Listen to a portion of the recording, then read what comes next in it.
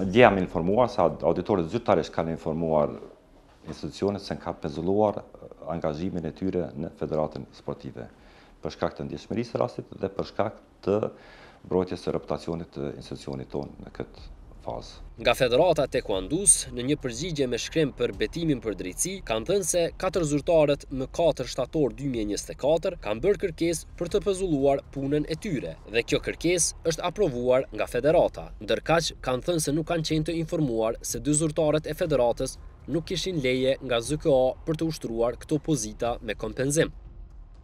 Federata e Taekwondos nuk ka qenë e informuar për një fakt të tillë. Këtë informatë po e marrim tani nga pyetjet tuaja.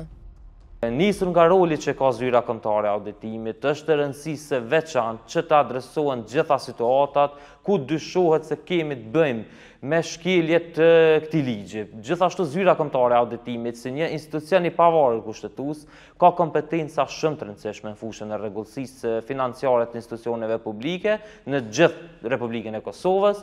Në kuadër të këtij mandati normalisht Zyra Kombëtare e Auditimit ka gjetur vazhdimisht shkelje të ndryshme, Ka kritikuar institucionet publike lidhur me mënyrën e zbatimit të ligjit dhe politikave të ndryshme dhe ka dhënë rekomandime të vlefshme.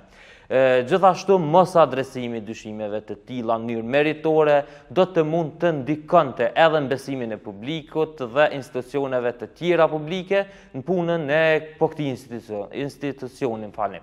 Andaj është e domosdoshme që situata të tilla të adresohen në mënyrë meritore nga Zyra Kombëtare e Auditimit. Sa i përket asaj se a e kanë paraqitur zyrtarët ndonjë dokument pranë Federatës lidhur me këtë situatë, ata kanë thënë se nuk është obligative.